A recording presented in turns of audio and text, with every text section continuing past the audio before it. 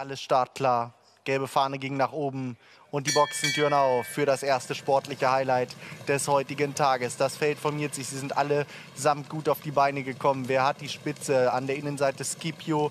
Aribo ist direkt in äh, vorderster Linie mit dabei. Ariadne hat sich am Start um unzählige Längen versäumt. Das kann ich Ihnen sagen. Das ist normalerweise nicht mehr aufzuholen. So, jetzt gucken wir mal, wer ist denn tatsächlich jetzt vorne. Aribo mit an der Außenseite Sagamore mit Scipio. An der Innenseite ist sofort Flitsch mit dabei. Dann sehen wir auch die Farben von Touch Moon im erweiterten Vorderfeld. KH hat keine Lage gefunden an der Seite dort von äh, Lambo. So geht es bereits durch den Schlussbogen hindurch und Aribo zeigt den Weg, führt vor Flitsch, vor Scipio dann in dritter Position. Das Feld ist weit auseinandergezogen. Das heißt eigentlich, es gibt richtig viel Tempo. Sagamore außen an der Innenseite hat sich dann still und heimlich hier äh, Sledgehammer verbessert. So geht es gleich schon in die Zielgerade hinein. Wir kommen gar nicht dazu, alle Kandidaten zu besprechen. Denn Aribo ist zunächst einmal zweieinhalb, drei Längen vorne. Jetzt fächert das Feld natürlich auf über die gesamte Breite der Bahn. Wer ist denn vorne? Wer greift an? KH außen, der Prinz. Jetzt kommt Flamingo Hollow. Sagamore zwischen den Pferden ist auch mit dabei. Sagamore mit KH an der Außenseite, mit Aribo in der Bahnmitte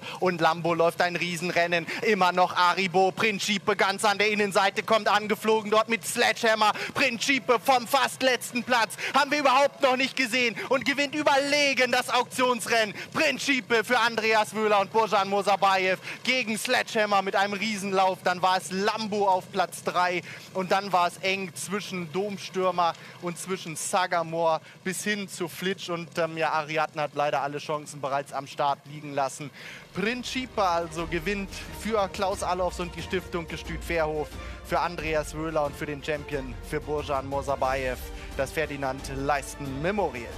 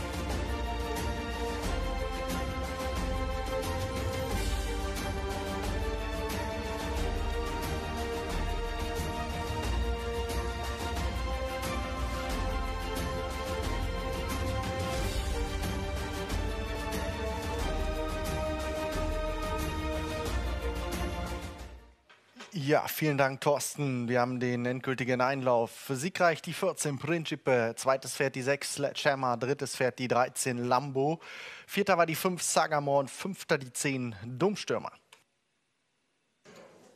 Ja, gucken wir mal auf die Quoten. Sieg 3,70 Euro, also der Favorit hat gewonnen, aber es gibt natürlich schöne Platz- und so weiter Quoten. 2,20 Euro, 6 Euro, 8,40 Euro, 53,40 Euro die Zweierwette und 29.000, nee, 2.979,90 Euro die Dreierwette für 1 Euro Grundeinsatz. 2 aus 4, 4,30 Euro.